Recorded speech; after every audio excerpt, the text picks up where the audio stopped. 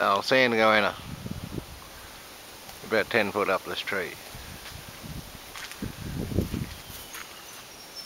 There you go, old goanna, hanging on there.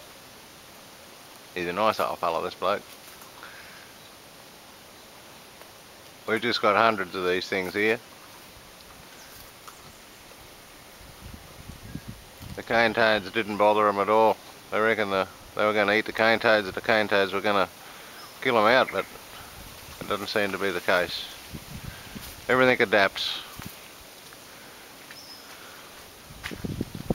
He's a nice specimen of a goanna, son himself. No dogs here, so he's not frightened.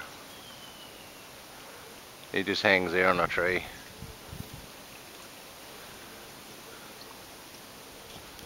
There you go. I'll go in it.